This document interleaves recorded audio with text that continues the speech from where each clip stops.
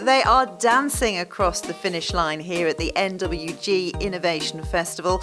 Hello and welcome to IFTV. I'm Kim Ingalls and this is our final roundup from Gosforth Park. We've got lots to come in tonight's programme, but first let's take a look at last night. I know you're used to me asking the tricky questions, but last night was somebody else's job.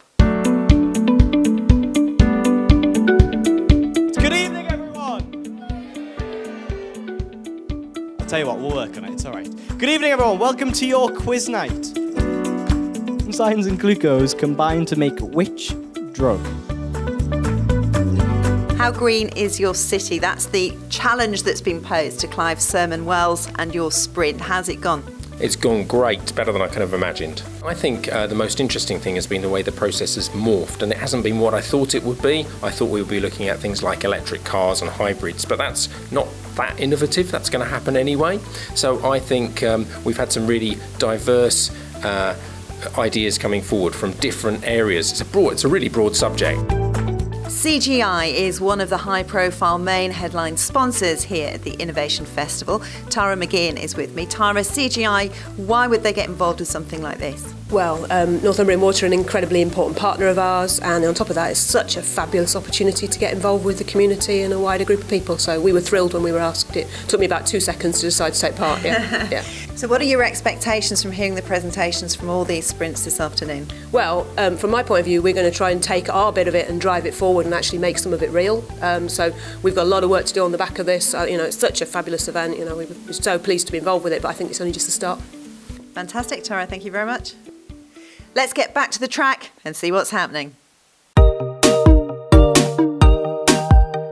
David Williamson is the MD here at Gosforth Park, the racecourse in Newcastle. David, innovation, it's part of your job.